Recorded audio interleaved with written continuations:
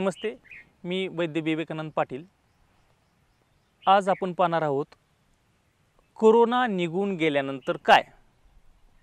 पहिले पाडे पंचावन्न की आपण काय सुधारणा करणार आहोत? कोरोना आता झाल्यानंतर सर्व शास्त्रामध्ये सर्व जगामध्ये एकच सांगितलं जातं की रोगप्रतिशक्ती वाढवा रोगप्रतिकारशक्ती वाढवा. सगळ्या न्यूज चॅनलला सगळे वैद्य डॉक्टर्स सगळे लोक काय सांगत आहेत सर्व पॅथीवाले काय सांगत नाहीत रोगप्रतिकारशक्ती वाढवा. मग आता रोगप्रतिकारशक्ती वाढवणे म्हणजे ही काही एक गोळी आहे का? की खाल्ली आणि लगेच रोगप्रतिकारशक्ती वाढली? असं नाही आहे आपल्याला मागे बरेच मागे जावं लागणार आहे. आणि मग काय चुकलं ते दुरुस्त करावं लागेल. आता इथून पुढे तरी आपण शिकायला नको का? का विहीर तहान लागल्यावरती विहीर खाणे हा जो प्रकार आहे ते आता करून जमणार आहे का? एखादी गोष्टी लगेच रिझल्ट मिळणार आहे का आता रोगप्रतिशक्ती वाढवण्याच्या हिशोबानं? बरेच जणांना आता मग लक्षात आलं की आता रोगप्रतिशक्ती वाढवायला पाहिजे च्यवनप्राश खायला पाहिजे वगैरे वगैरे वगैरे. जे जे काही सांगतात मेडिसिन वगैरे काय जे असेल ते. ते एका गोष्टीनं होणार नाही आहे आपल्याला खूप काही गोष्टी करणं गरजेचं आहे. इथून पुढे तरी ॲटलिस्ट तर त्या दृष्टिकोनातून आपण याच्या माध्यमातून आपण सांगायचा प्रयत्न करत आहोत. रोगप्रतिशक्ती जी आहे ती काही क्षणात येणार नाही आहे पी हळदन हो गोरी म्हणतात ना हळद खाली गेलं की गोरे पण येणार नाही आहे त्या पद्धतीनं आपल्याला बेसिकली सगळ्या गोष्टी दुरुस्त करायला पाहिजे. रोगप्रतिशक्ती चांगली कधी असते? कशी वाढवता येऊ शकते याच्याविषयी आपण बोलूया.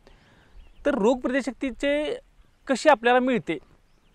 एक प्र एक जे असते ते आत्मज म्हणजे आत्म्यासोबत आलेली रोगप्रतिकार शक्ती.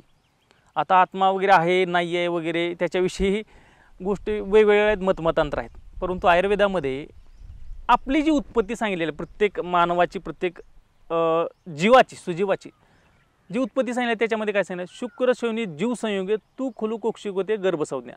शुक्र शोणित जीव संयोगे हे जीव म्हणजे काय? तर तोच आत्मा आहे. शुक्र आणि शोणित स्त्रीबीज पुरुषबीज एकत्र आला आणि त्याच्यामध्ये ज्यावेळेस आत्मा प्रवेश करतो त्याला गर्भ म्हणतात. मग हे गर्भ तयार होताना जो आत्मा प्रवेश केला ना त्याच्यासोबत काही रोगप्रतिशक्ती आलेली असते. म्हणजे सगळ्याच गोष्टी त्याच्यामध्ये.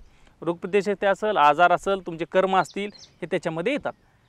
तर त्याच्यामध्ये जे आहे तर त्याच्यासोबत आलेली रोगप्रतिशक्ती म्हणजे आत्मज रोगप्रतिशक्ती हे काही या जन्मामध्ये आपण काही करू शकत नाही. पुढल्या जन्मासाठी त्याच्याविषयी आपण बोलू कधीतरी की नेक्स्ट लाईफमध्ये किंवा आहे नाही आहे तो गोष्टी वेगळा आहे. परंतु ती आत्मज रोगप्रतिशक्ती आली. आता दुसरी जी आहे ती मातृज रोगप्रतिशक्ती. आईकडून मिळालेली आपल्याला रोगप्रतिशक्ती. आता त्याच्यामध्ये काय आहे? आईच्या स्त्रीबीजातून जी रोगप्रतिशक्ती आलेली आहे ती बरोबरच आहे त्याच्यासोबत. परंतु आईने गर्भपोटामध्ये धारण केल्यानंतर नऊ महिने काय खाल्लं आहे काय पिलं आहे कसं राहिलेली आहे? तिची मानसिक प- परिस्थिती काय आहे? सिच्युएशन काय आहे? ह्या सगळ्या गोष्टीचा विचार त्याच्यामध्ये सूक्ष्म विचार आहे. की त्या नऊ महिने आईनं पोटामध्ये गर्भ असताना तिची मानसिक परिस्थिती काय राहिली आहे? तिचं खाणं पिणं राहणीमान ह्या गोष्टी कशा राहिलेल्या आहेत? ह्याच्याविषयी आपण वेगळे व्हिडिओ तयार केलेलेच आहेत ते तुम्ही बघू शकता की ते कसे आहे? त्याच्यावरती तुमची रोगप्रतिस्थिती राहणार आहे. दुसरी गोष्ट त्या आईला त्या मातेला जे काही रोग असतात अनुवंशिक रोग असतील तर ते रोग देखील त्या गर्भाला होण्याची शक्यता असते. तर तो एक झाला मातृ रोगप्रतिकार शक्ती. तिने नऊ महिने जे पाळले पोटामध्ये काय केले कसं सांभाळले त्याच्यानुसार रोगप्रतिशक्ती येणार आहे तुम्हाला. पितृज रोगप्रतिशक्ती आता पितृज रोगप्रतिशक्ती म्हणजे कसं असेल ती?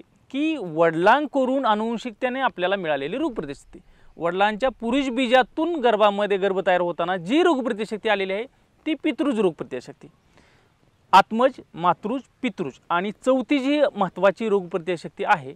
ती म्हणजे ॲक्वायर्ड रोगप्रतिकार शक्ती. ॲक्वायर्ड रोगप्रतिकारशक्तीमध्ये पण बराच तो विषय मोठा आहे ते आपण सांगण्याचा प्रयत्नच करूया. तर ते ॲक्वायर्ड केलेली रोगप्रतिशक्ती जी आहे ती बऱ्याच अंशी आपल्या हातात आहे आणि मातृज पितृज देखील आपल्या हातात आहेच आहे. आणि आत्मज आहे तो विषय खूप गंभीर आहे आणि मोठा आहे त्याला वेगळा वेळ द्यावा लागेल वगैरे.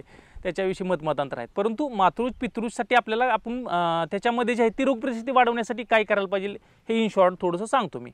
व्हिडिओ थोडासा मोठा होऊ शकतो पण आपण शॉर्टमध्ये सांगण्याचा प्रयत्न करूया की आपला जन्म झाला आहे आता आपली मातृज पितृज रोगप्रतिशक्ती आपल्या हातात नाही. परंतु आपलं जे आपत्ती आहे आपला जो बाळ जन्माला घालवणार आहे नवीन कपल्सला सांगतो किंवा ज्यांना आपत्ती आता अपेक्षित आहे त्यांच्यामध्ये जे दोष आहेत ते जर त्यांच्या मुलाला नको असतील अनुवंशिक रोग असतील काही किंवा इतर काही कमकुवत शरीर असेल स- वारंवार आजारी पडत असाल तर त्या पद्धतीने बीज तयार जसं बीज तसं रोप तयार होणार आहे.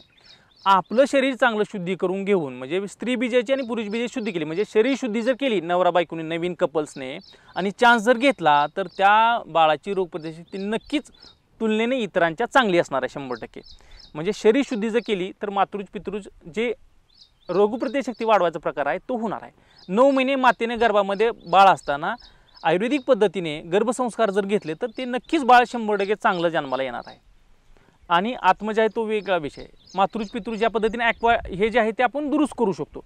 आता जो ॲक्वाड रोगप्रतिशक्ती आहे म्हणजे आप आत्मसात केलेली रोगप्रतिशक्ती आहे, ह्याच्या ह्यासाठी आपण पुढील व्हिडिओमध्ये आपण बघूया. तर आत्मज मातृज पितृज आणि ॲक्वाड रोगप्रतिशक्ती तर ह्या चार पद्धतीने रोगप्रतिशक्ती जर वाढवली तर आपण भविष्यामध्ये आपल्याला जे काही असे साथीचे आजार येतील त्याच्यामध्ये आपल्याला तेवढी घाबरण्याची आवश्यकता राहणार नाही आहे विषय बाकी खूप मोठे आहेत परंतु एवढ्या गोष्टी आपल्या हातात असणाऱ्या गोष्टी तर आपण नक्कीच दुरुस्त करू शकतो.